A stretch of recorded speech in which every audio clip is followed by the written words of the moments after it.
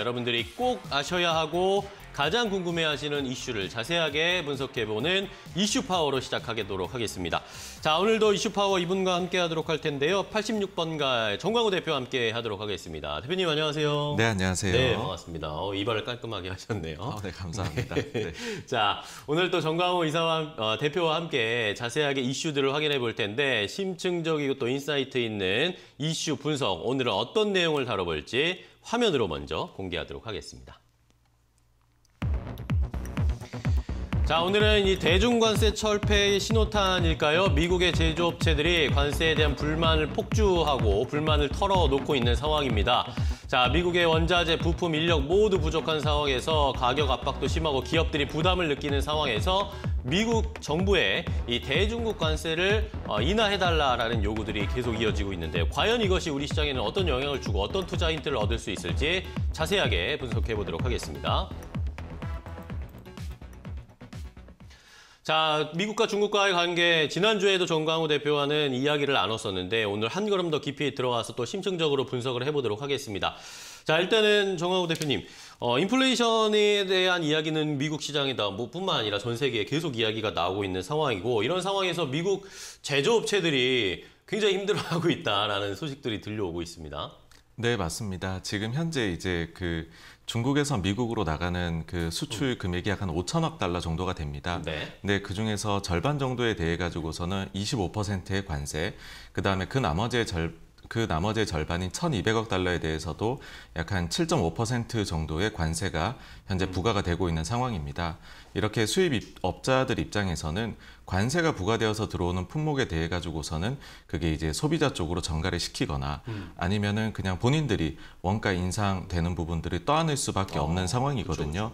그러다 보니까는 이 부분이 가뜩이나 요즘에 여러 가지들이 부족하고 좀 공급망 교란이 발생을 하면서 인플레이션이 이렇게 나타날 조짐이 보이고 있으니까 음. 아, 이런 쪽에서 좀 마진 압박이 너무 심하다 보니 뭐 이렇게 불만을 토로하는 목소리가 나오고 있는 상황입니다. 네, 그렇습니다. 자, 미국 기업들도 뭐 제조업체들이 특히 최근에 뭐 원자재 가격도 계속 올라가고 있는 상황이고 쉽지가 않은 상황이다라는 게 그대로 드러나고 있는데 자, 지난주에 뭐 정강호 대표와도 이야기 계속 했었죠. 이 미국, 미국 무역대표부 이야기와 중국의 뭐 접촉이 좀 있었다라고 이야기를 해주셨는데 자, 이런 상황에서 그러면 대중관세가 실제로 뭔가 좀 바뀔 수 있을지 미국 기업들의 이런 불만이 정부에, 미국 정부에 좀 반영이 될 수 있을지 어떻게 보세요?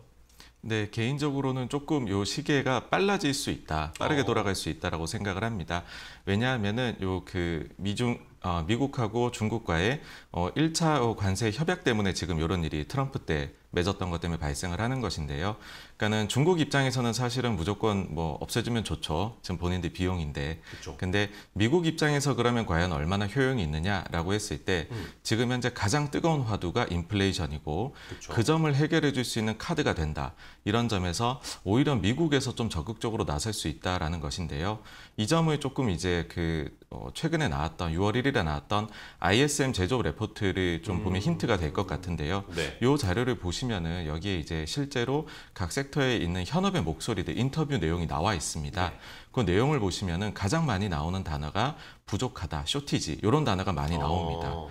근데 이것이 인력일 수도 있고 원자재일 수도 있고 부품일 수도 있는데 그 모든 것들이 지금 말해주는 것은 아무래도 인플레이션 압박이 너무 심하다라는 음. 것입니다. 그래서 이런 쪽에서 좀 내려달라는 게 나올 수 있는 거고 실제로 이게 얼마나 지금 상황이 좀 급박하게 돌아가느냐라고 하면은 네네. 예, 미국의 기업이 어, 바이든 행정부에 서한을 보낸 사례도 음. 있고요. 없애달라고. 그리고 미국 상원 의원 중에 40여 명. 그러니까는 그것도 한 당이 아니라 민주와 공화당이 모두 다 어, 합쳐져서 어. 구성된 40여 명이 어, 중국 관련해서 관세가 철폐되어야 되지 않겠느냐라고 지금 촉구를 하고 있는 상황입니다. 네, 뭐 여당이 야당 할 것 없이 이 미국 기업들이 너무 힘들다는 이야기들이 나오니까 이 정부에 좀 요구를 하고 있는 상황이다. 실제로 이 대중관세가 철폐가 될 것인가, 뭐 이런 것에 대한 추이를 계속 살펴봐야 되겠습니다.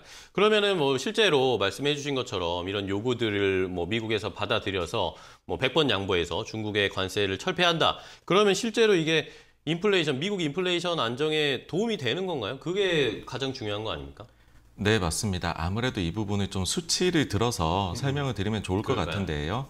어, 2019년도에 그때 당시에 이제 이런 어, 뭐랄까요 다툼이 한창 텐션이 올라가고 있을 때였죠. 음. 그때 당시에 이제 샌프란시스코 연준에서 어, 관련해 가지고서 연구한 보고서가 있습니다. 그 보고서를 보시면은 만약에 미국 관련해 가지고서 모든 어, 그 수입하는 것에 대해서 25% 관세를 매기면은 약 한 0.4% 포인트 정도 어, 관세로 인해 가지고서 인플레가 올 것이다라는 게 있습니다. 그러면 현재 매겨진 관세율을 적용을 해보면 약 한 0.23% 포인트 가량이 지금 미국의 인플레이션에 어, 그 관세 때문에 영향을 주고 있는 것으로 저희가 역산을 해볼 수가 있습니다. 근데 음. 어, 미국의 지금 연준 보시면 2%를 지금 목표로 하고 있습니다. 그쵸. 인플레를. 그러니까 여기에서 0.23이라고 하는 것은 10% 이상, 그러니까는 꽤나 크게 차지를 하는 유의미한 숫자이다라고 그러네요. 말씀드릴 수가 있습니다. 그렇습니다. 자, 그러면 이렇게 일단은 어느 정도는 좀 효과가 있을 것이다라고 예상을 해주셨는데, 자, 만약에 그러면 이제 관세 철폐에 대한 논의가 뭐 진행이 되면서 뭔가 변화가 있겠죠. 이게 구체적으로 진행이 되면 실제로 시장에는 어떤 영향을 줄까요? 주식시장, 뭐 미국 시장도 그렇고 우리 시장도 어떤 영향을 줄 수 있을지 좀 예상해 볼까요? 네, 전체적으로 시장을 바라보게 된다면은 증시가 좀 더 생명력 있게 길게 랠리를 어. 펼칠 수 있는 요인이라고 봅니다. 그러니까 지금 증시 참여자들이 가장 걱정하는 것은 아, 이게 과도한 인플레가 와가지고서 그러면은 이것을 잡기 위해 가지고서 연준에서 긴축의 속도를 더 높이지 않겠느냐. 그렇게 되면은 아무래도 유동성이 급격하게 메마를 수 있다라는 걸 제일 걱정을 하시는 것 같아요. 그렇죠. 근데 인플레이션을 조금 더 잠잠하게 해줄 수 있는 그런 어, 그 정책이 나올 수 있다 라고 해버리면 뭐 증시 전반적으로는 당연히 도움이 될 수밖에 없는 요소이다라는 거고요.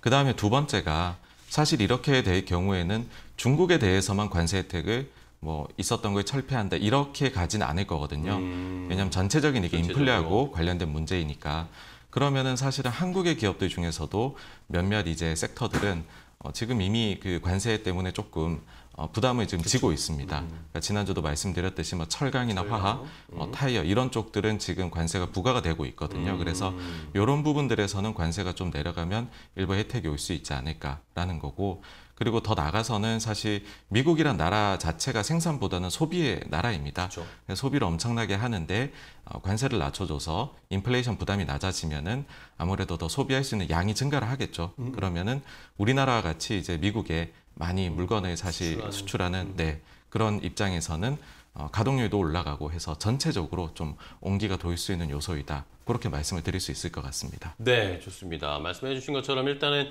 어, 인플레이션에 대한 부담을 완화하기 위해서 중국 관세를 철폐할 수도 있을 가능성들이 좀 보이고 있는데 뭐 추이를 좀 지켜봐야 되겠고요. 근데 실제로 철폐될까 좀 약간 의구심이 드는 것도 어, 미국 중국 관계가 뭐 여전히 뭐 좋지는 않은 것 같습니다. 지난주에 뭐 그게 다 뭐 그냥 어, 사실은 뭐 그렇게 생각보다 나쁘지 않다라고 얘기해 주셨잖아요. 둘 관계가. 네, 근데 네. 오늘 또 새벽에 보니까 바이든 대통령이 이 중국 군 관련 기업 주식 거래 금지한다 이러면서 59개 기업을 또 어, 뭔가 제재하는 양상이 나타났습니다. 이러면서 뭐 일각에서는 야, 이거 뭐 트럼프 때보다 더한 거 아니야? 뭐 이런 식의 해석들도 있는데 이건 어떻게 보세요? 네, 그 점에 있어 가지고서 아무래도 아 이게 그러면은 과연 당근이야 채찍이야 이거를 음. 너무나도 궁금해 하시는 것 같아요. 근데 바이든 정부는 제가 생각을 할 때에는 그래도 저희가 한번 답지를 봤다고 생각을 하는 게 어? 아무래도 오바마 대통령 때 부통령으로서 어, 재직을 그렇죠. 하면서 그때 당시에 외교 측면에서 어떤 식으로 하는지를 저희가 한번 8년간 봐왔던 경험이 있습니다. 음. 그러니까 트럼프 때는 저희가 예상하기 어려웠던 소위 좌충우돌이라는 키워드를 가지고 네네. 있었다면 지금은 그래도 어, 좀 질서정연하게 음. 뭐 일종의 화전양면책이라고도 할 수 있을 거고요. 음. 그러니까 미국을 이익을 위해서 움직이는데 어쨌든 방향성 자체는 좀 질서정연하게 문제를 해소해 나가는 방향으로 갈 것이다. 뭐 그렇게 생각을 해서요. 어, 좀 부정적인 뉴스가 나오더라도 그것 때문에 어, 관계가 트럼프 때만큼 안 좋아진다. 그렇게 예상하기는 어, 그런 시나리오를 그리기는 조금 어렵다. 그렇게 음. 생각을 합니다. 아, 알겠습니다. 자, 일단은 뭐, 뭐, 밀당을 하는 거겠죠. 미국도. 맞습니다. 중국과의 관계에서 밀당을 하고 있는 상황이고, 뭐, 좋은 것만 계속 줄 수는 없으니까, 이런 식의 뉴스도 나오지만, 어쨌든 큰 그림으로 보고, 롱텀으로 봤을 때는 중국과의 관계가 개선되고, 과- 이런 가능성이 조금 더 높다라고 해석을 해주셨습니다. 자, 오늘 정광우 이 대표와 함께 이야기를 나눠봤습니다. 지난주에 이어서 미국과 중국과의 관계에서 여기서 또 인플레이션이라는 어, 키워드가 또 다시 나올 수밖에 없다라는 걸 다시 한번 좀 확인을 시켜주셨는데요. 오늘 또 좋은 이야기, insight 주셔서 감사하고 다음 주에 또 뵙도록 하겠습니다. 고생 많으셨습니다. 네, 감사합니다. 고맙습니다.